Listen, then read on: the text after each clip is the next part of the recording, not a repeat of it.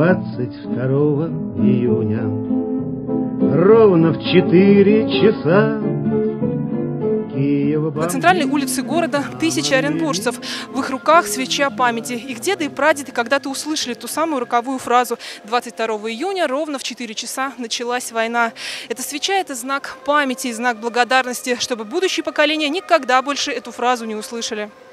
Этот трагический день разделил на до и после не только ход мировой истории, но и жизнь целого поколения, затронул семью каждого.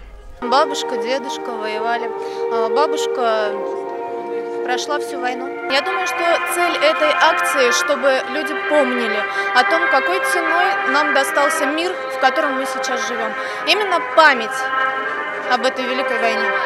В центре города сегодня и те, кто еще помнит то самое роковое 22 июня 41-го. Спал я на улице и слышу, значит, скачет какая-то лошадь к нам. Что вы, что вы спите? Там началась война. И вот целый день была передача Молотова министра иностранных дел, что фашистская Германия вероломно напала на Советский Союз.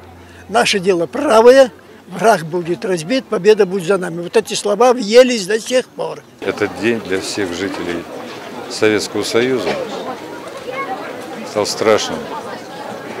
Этот день помнили и помнят, и будут помнить все поколения. Хотел высказать слова благодарности всем, кто сегодня пришел и принял участие в этой акции. Это говорит о том, что мы были, есть и будем той в хорошем смысле сильной державой, потому что мы всегда вместе. Памятное шествие колонны завершилось на Беловке. Каждая свеча была спущена на Урал. Набережная осветилась сотнями огней. И пока их свет отражается в сердце каждого, память бессмертна. Анна Втюрина, Георгий Бурлуцкий. Новости дня.